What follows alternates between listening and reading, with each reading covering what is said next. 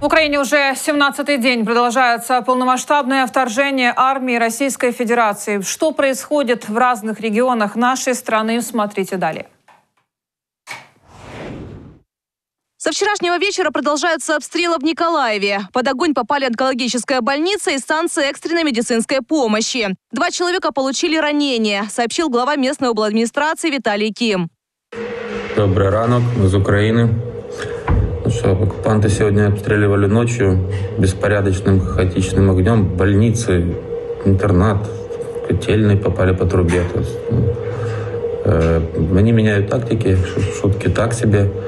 Теперь выезжают, стреляют и бегут. Размещаются в селах, квартируются там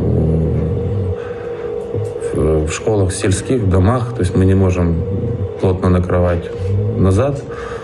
Правил нет. Теперь работаем с ними жестче.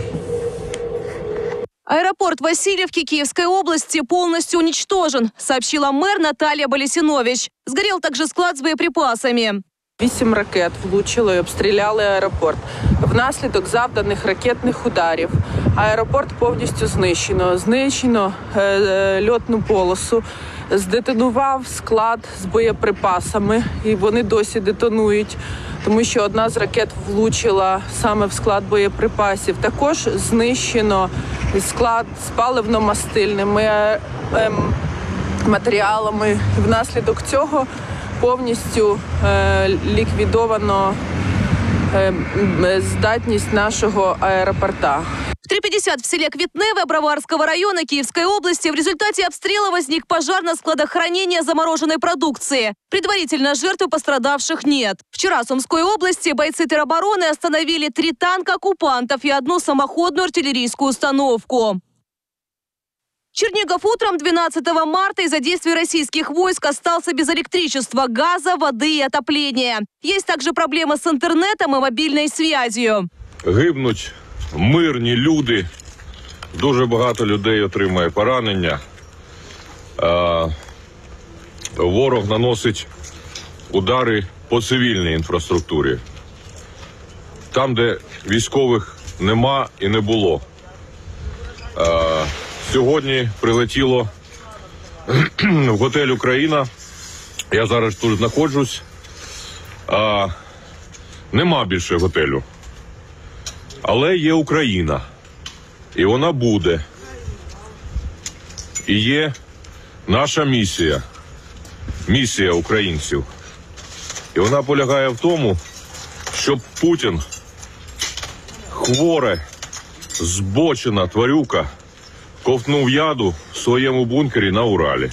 Во временно захваченном Мелитополе Запорожской области не менее двух тысяч человек вышли на митинг с требованием освободить мэра города Ивана Федорова, которого накануне взяли в заложники. Представитель Офиса президента Алексей Арестович прогнозирует, что в ближайшие недели российские войска попытаются совершить еще одно наступление с броском своих резервов на те направления, где они могут преуспеть. За даними нашого командування, понад 90 батальйонних тактичних груп противник застосував на територію України, починаючи з 24 лютого дня початку агресії. Значить, понад 30 знищено або виведено з ладу, втратили боєздатність. Тобто, ми перемололи третину війська Противника. Зараз противник намагається сашкрібати резерви десь там з миротворців на Кавказі, з Криму, з ЛНР, з Росії, ДНР, так званих проводя часткову мобілізацію. Він намагається створити угруповання ще в 10-15 до 20 тисяч осіб, і за пару тижнів намагає кинути їх знову на фронт, намагаючись переламити ситуацію. С начала российского вторжения из Украины уехало уже 2,5 миллиона человек, сообщил Верховный комиссар ООН по вопросам беженцев Филиппа Гранди. Из них полтора миллиона перебрались в Польшу, 225 тысяч в Венгрию и 176 тысяч в Словакию. Потери личного состава врага на сегодня более 12 тысяч человек. Наши военные уничтожили 362 танка, 1205 бронемашин, 58 самолетов и 83 вертолета. Информацию, происходящую на фронте, сообщил Генштаб ВСУ. За результатами бойових дій більшість підрозділів Збройних сил Російської Федерації, що мали безпосередній вогневий контакт з підрозділами Збройних сил України, деморалізовано.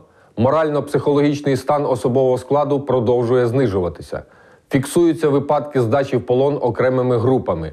Протягом останніх трьох діб спостерігається рух малих груп дезертирів противника у напрямку державного кордону. Ворог відчуває велику проблему з комплектуванням резерву. Збройні сили України у злагодженій взаємодії з іншими складовими сектору безпеки і оборони держави та силами національного спротиву стримують масований наступ окупаційних військ.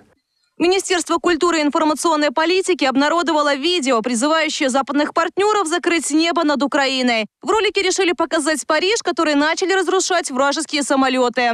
Евгения Панченко, Надежда Бондаренко, Седьмой канал.